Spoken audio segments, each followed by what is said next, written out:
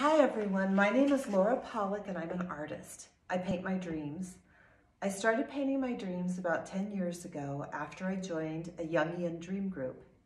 It was so beneficial and not only beneficial, it was just intriguing as well. Um, the more I painted my dreams, the more I realized how helpful it was to um, focus on and study these dreams.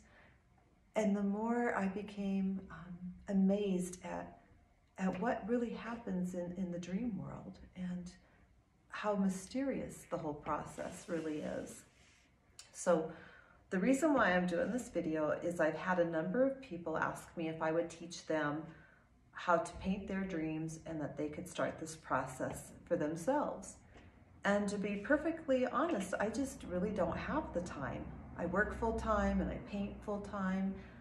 So just giving lessons just really wasn't um, a possibility. But I thought, oh, I can, I can put out a video, show how I do this whole process, and hopefully it'll benefit others as much as it's benefited me. So we'll go ahead and begin. And um, first off, what I do is I, I've purchased a dream journal. That's essential.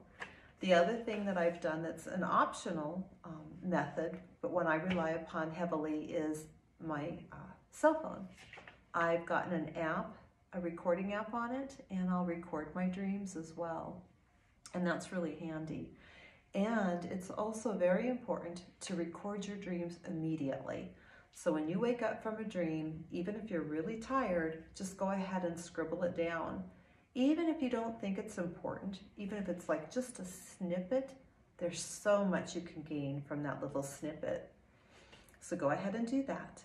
Then when you're ready to paint your dream, just paint whatever part of the dream really calls to you. Something that you think would be really fun to paint, or it was a part of the dream that really intrigued you, or um, that you're curious about. And that's key to be curious, not to be afraid, not to think, oh, that's so ugly and gross. I don't want to paint that, but to just be curious and open about everything. So I'm going to go ahead and teach you by showing you my own process. I am currently in the beginning phase of a, a dream painting. I just started this uh, maybe a couple of hours ago and what it is is Smokey the Bear in my my um, childhood bedroom, sleeping, or actually just waking up.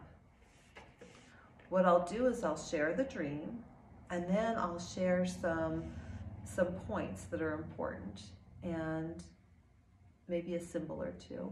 And then as the painting progresses, I thought I would do more videos, and layers will come up and that's kind of the cool thing about creativity and painting is not only are there layers of paint, but now we're going to start to experience layers of symbolism and layers of meaning and more things might surface as I paint this painting with with not only the painting progressing, but meaning of the dream uh, unfolding.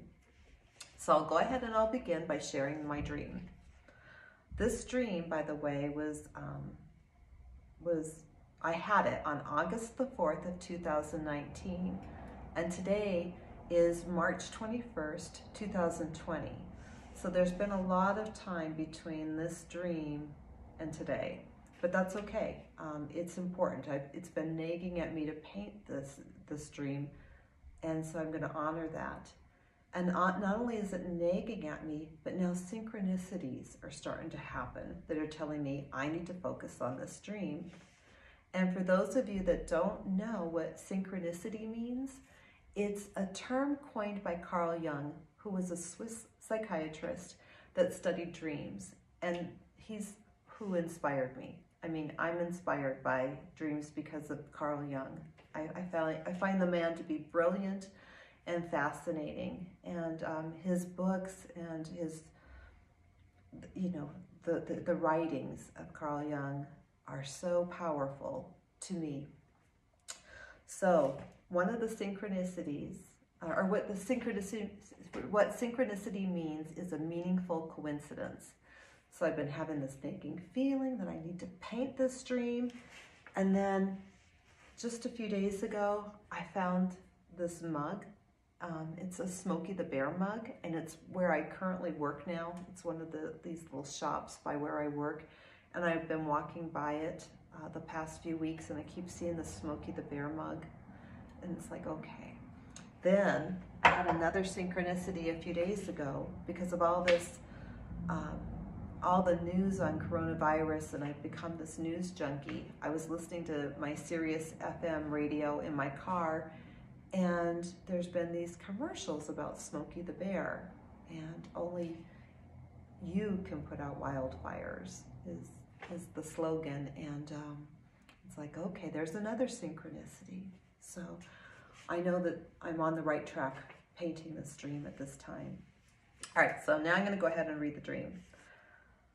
In the dream, I'm in operations with Nicole and Jeremiah, and operations is actually um, at my former job at the Denver Art Museum.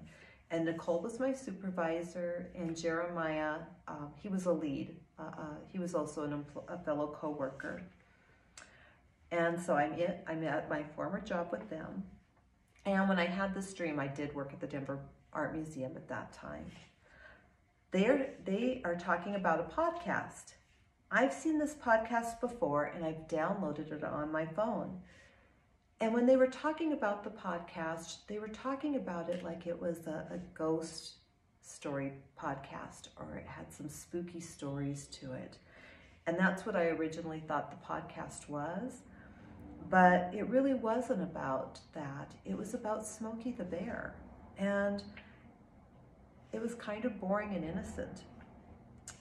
So anyway, Jeremiah had put this podcast on and we went behind Nicole's desk and we were all looking at her monitor.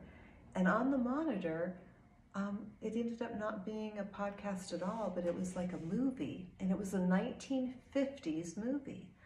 And it was of people on the beach a, a beach and there was the ocean behind it and there was these 1950s cars that were all sideways and they were just floating on their side or they were the side view of the car and they were just floating to the beach and then once the cars got to the beach the people in the cars and the cars would just glide over the sand kind of like it was they were surfing and they were laughing and they were having all this fun and as I'm watching this video or this movie on the monitor, I'm feeling the sense of alarm, thinking, oh my gosh, a disaster is about to hit.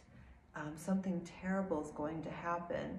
And none of these people are aware that something really bad's about to happen to them. Like, like maybe a tidal wave or something, something horrible like that is about to happen. Then the dream switches and I'm an adult in this dream, and I'm in my childhood bedroom, and I'm sleeping in my childhood bed, bed, which is a canopy bed at my mother's house.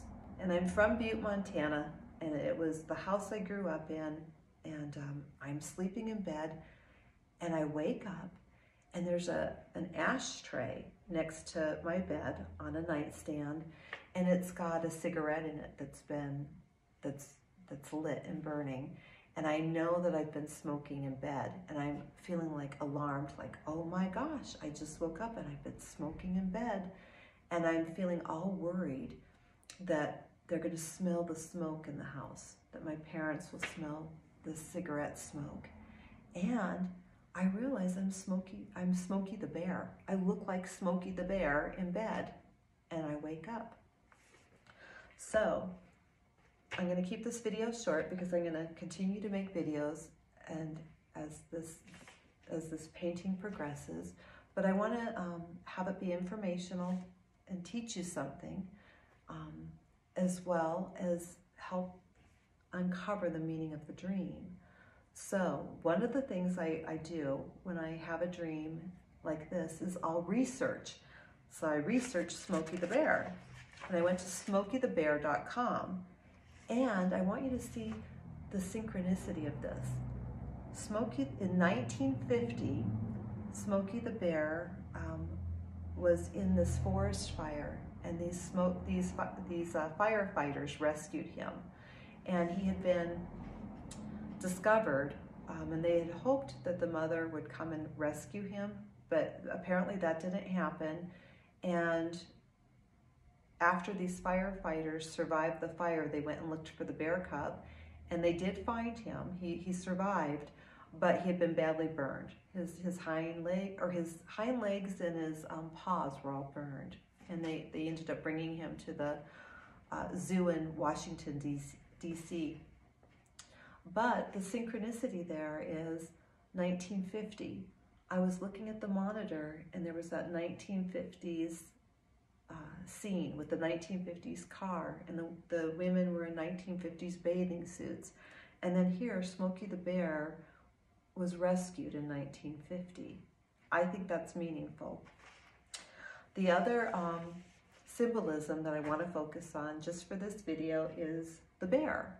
Um, when you when you look at symbols, there's two ways of looking at it. You can look at it from your own personal associations and also what's the general association of that symbol.